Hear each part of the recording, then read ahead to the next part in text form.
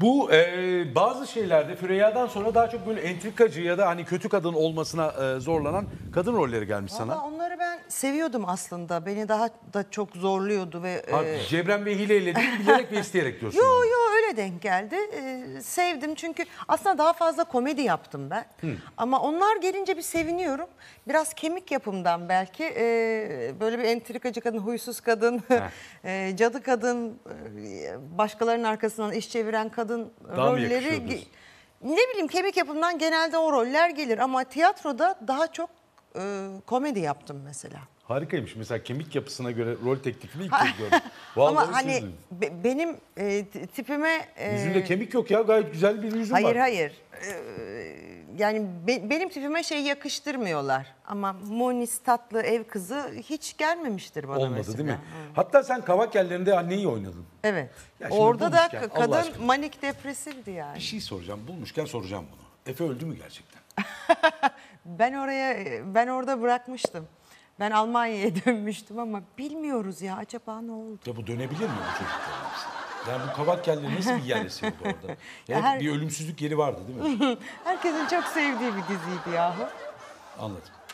Efe dönebilir. Evet. Ah, tamam. işte bu. Beklediğim Her yanıt şey buydu. olabilir Efe abi. dönebilir her şey Her olabilir. şey ya. olabilir. Her şey olabilir. Çok korkuyoruz. Evet kavak yerleri çok korkuyoruz. Seni baban e, dizilerden biraz uzak tuttu Barış. E, bu şeyli bir şey mi? Hani planlı bir şey miydi? Ya Neden? bilerek bilerek yaptı. Bilerek mi? istemedi. Yani Daha doğrusu diziler dedim. Özür dilerim. Oyunculuktan uzak oyunculuğu genel olarak evet. Ee, yani arkamız sağlam olsun diye önce eğitimimizi tamamlamamızı istedi. Beni de kardeşlerimin de. Her zaman hiç bu işe hatta hiç girmeyelim istedi başlarda. Ee, biz de ben de kendim zaten e, mesleğimi icra ediyordum bir süre. Ee, yüksek lisansı bitirdikten sonra babamın da onayıyla hani bu dizi olayı bana karşıma geldikten sonra babama da sordum. Ee, babamın da onayıyla tamam oğlum e, eğitimini tamamladın arkan sağlam. Hani olmadı baktın tutmuyor yani beğenmediler yapamıyorsun.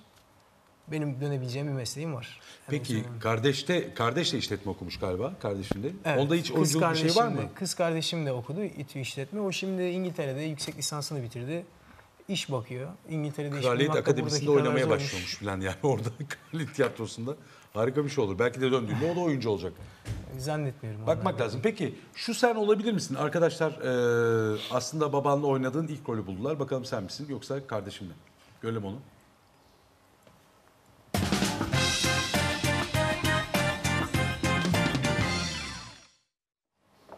Al işte gör. Tüh Allah cezanızı vermesin. Bunu da mı yapacaktınız ha? Kimden peydahladınız bu yavruyu? Ahlaksız utanmazlar. Sus be Hafize Ana. Benim derdim bana yeter zaten. Senin mi bu yoksa? Evet, benim Bu sen misin? Yok. Kız kardeşin o zaman. Çünkü oradaki kızmış. Sonradan öğrendik. Sonradan öğrendik. Yani bizi e, Güzelmiş. oyunculuğa sokmak istemiyorsun dedin ama orada Bildiğin bundan beşikten şüpheleniyorsan soktuk. yok öyle bir şey. Beşikten soktuk seni. Senin baban nasıl baktı Ümit abi? Futbolcu olmana. Şimdi eskiden babalar şöyle oğlum ya topçu olsun ya popçu olsun derlerdi. Ya ben bizim benim bir kardeşim de profesyonel futbolcu, diğer kardeşim hakemdi. Babam da zaten geçmişte e, kalecilik yapıyordu ama tabii sonra terzilik yaptı.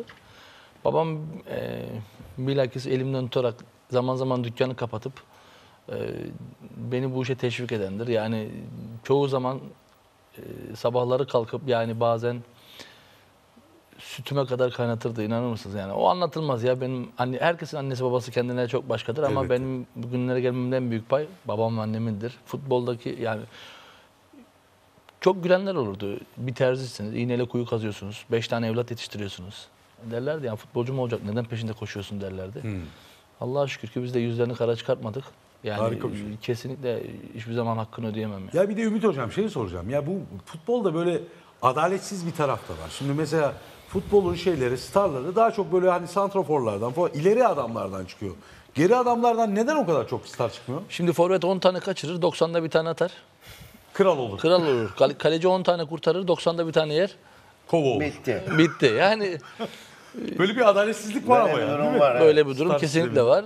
Özellikle defans oyuncularında zaten var ama ya adalet baktığın zaman maalesef şu dönemlerde E, hiçbir işte o adalet yani o şeyi tam ala, karşılığı tam alamıyorsunuz baktığınız zaman. Hele Yoksa futbol- futbolda- hele futbolda şimdi belki e, Adalet topa bağlı biraz Haddimi tabii. aşmak istemiyorum tabii ki. E, bugün e, 8 aydır dediğim gibi hani hafta sonları maç izliyorum. Hafta içi başlıyor. İşte halimizden belli oluyor kilo alış halimizden işte salı film, çarşamba Biraz film, kilo aldığını perşembe söylemiş film, cuma e, film. şeylerin. E bakıyoruz e, ama bu filmlere hakikaten tiyatro oyuncuları girince o filmlerin tadı falan çok daha başka oluyor. Bambaşka oluyor. Bambaşka oluyor. Ee, şimdi tabi boş olduğumuz için geç yatmaya çalışıyorum. Neden geç yatmaya çalışıyorum? İnanır mısınız?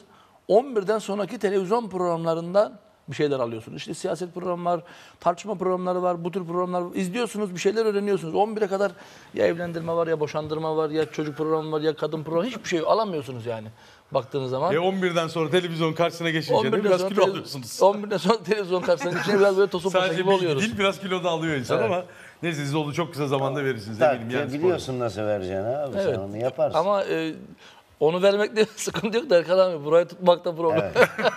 Evet doğru. Abi a- o irade vardır sizde. İnşallah. Peki e, Türk futbolu sonuç itibariyle alengirli bir zamandan geçiyor. Çok. Yani öyle bir e, tuhaf bir süreç var ama bu şike ile ilgili cezaları e, azaltan yasa tasarısı da az önce geçmiş anladığım kadarıyla. Böyle bir haber vardı internette. Bir yandan da haberlere bakıyorum. Vallahi ne E, kadar hayırlı ne olsun. diyorsun ya şu son süreç için hocam böyle hani bir cümlede toparlarsak. Ya aslında Mesut abi bu işin bir cümlede toparlanacak hiçbir tarafı yok. Ama Tabii canım. bir kitapta söylenecek ya o kadar e, çok taraf var ki başı da belli değil, sonu da belli değil. Maalesef e, bu işin esasında en büyük zararını milli takım gördü. İşte görüyorsunuz bu, bu kadar olaylardan. Ne olursa olsun bir tane yabancı teknik adam geliyor. O da sizin meslek- meslektaşınız. E, ligler geç, geç başlıyor, zamanda başlamıyor. Oyuncuları antrenman ediyorsunuz. Sonra 15 gün ara veriyorsunuz ve ondan sonra neticede bir saha performansından o da bir insan ne kadar yabancı olursa olsun ve bu adamı Avrupa'da çalışma, çalıştırmadığı bir takım bir takım kalmayan bir adamı başarısız diye gönderiyorsun. Yani o kadar bir dönemden geçti ki bu Türk futbolu. Yani ben bu seneyi gerçekten Pek hayırsız görüyorsun. hayırsız ve boş sayıyorum. Yani bu sene hakikaten Türk futbolunun, Türk liglerinin tarihinin kuruluşundan bu yanaki en kötü zaman. Diyelim ki geçmiş olsun. Ama her, her şey son bir başlangıçtır. Bunların birilerine ders olması lazım. Elbette. Bizim de bunlardan dersler çıkarmamız lazım. Peki muhtemelen onu da yapıyoruzdur. Baba Olgun Şimşek'i evlendirmişsin. Ya bizim Evet. Olgun evlenme. Biraz düğün dedikodusu yapalım ya. Ne- Neler oldu düğünde? Ne yaptı? Ayağın uğurlu mudur mesela şahitliğin? Şahit. Şahitliğin uğurlu. iyi midir yani? İyidir baba. Ha o iyi. Çünkü benimkisi rezildir abi. Beş arkadaşın ya beş sene içerisinde beşini de boşalttık. o Oldu. halde vardı. Çağırmayın sakın düğün dedi, falan. Peki dedik. Ama Ne fena. nasıl geçti? Düğün ben öyle şeylere de inanmam da düğün valla güzeldi. Ben hep sarhoşlarla uğraştım. Bu da senin kaderin herhalde. ha? Evet. ya genç bir kardeşimiz vardı o e, biraz fazla kaçırmış. Ona baktık ettik falan filan. bir geldiğimde düğün bitmişti. Anladım. Sen paketleme işiyle uğraşırken düğün bitmiş oldu. Ben zaten etrafı hep hep kolaçan ettik. Hep baktık sağa sola. Sonunda bulduk. Heh. Olgun yakışıklı bir damat mı oldu? Olgun tamamdır. Olgun her zaman yakışır. Oldu yani. Olgun, olgun bir damat oldu. Peki. Erkan Can dizilerde de fena işler yapmadı ama sanırım bu yıl bu e, Üsküdar'a giderken mevzundan sonra setleri anladığım kadarıyla Paçi'den de hareketle biraz ara veriyorsun gibi geldi bana. Gibi e, işte iki, iki tane oyunum var benim. Bu akşam Alevli Günler oynadım. Yarın Akatlar'da Paçi'yi Paçi'yi oynuyoruz. oynayacaksınız. Ondan sonra sonra Ankara'ya turneye gidiyoruz. Sonra geliyoruz gene e, Alevli Günler oynuyoruz. Hep oynuyorum. Yani Araya o bir yüzden sinema falan bir şey sıkıştıracağız mı abi? sıkıştıramam. Hiç işim gücüm var. Niye kurban olayım ya? Aman abi Sen hiç hayır demeyen bir adammışsın yok, yok, abi. Artık hayır diyorum abi. Ha diyor Artık- musun? Oo güzel. Çünkü bir de hani bu e, gençlerin bitirme sınavları, kısa filmleri yok e, bir yere ödül Türkiye'de Artık yaklaşık hakikaten 100 tane yoruldum. bitirme tezinde varsındır herhalde. Yoruldum yani e, çünkü bazen programları karışıyor, unutuyor. O kadar çok ki hayır da diyemiyorum. Çünkü çok güzel pırıl pırıl çocuklar. Şimdi nasıl yapacağız yani? E, ulan benim bakmakla ailem var, tiyatrom var, dizi var, sinemalar var. E, şimdi bir de onlara ama hallettim şimdiye kadar. Bir sorun çıkmadı. Ama biraz tiyatroyla biraz e, haşır neşir olmak istiyorum. Belki önümüzdeki ay bir 25 bölümlük bir diziye başlayacağım. 25 bölüm başlayacak bitecek. Ya çok enteresan. İlk kez birinin Evet, dizinin o- final şeyini verdiğini gördüm. 25 bölüm. 25'te 25'i görür mü kesin mi? 25'i görür abi. Ha. Yani 25 bölümde bitiyor. 25'i görüyor. Güzel bitiyor. bir senaryo. E, hayırlı olsun. Bakacağız. Mizah mı yine? Yani komedi mi? Yok. Heyecan, Fenasınız. polisiye. Polisiye. Polisiye O diyor. güzel gider ya. Bakacağız baba. Bir bakacağız ya güzel olur.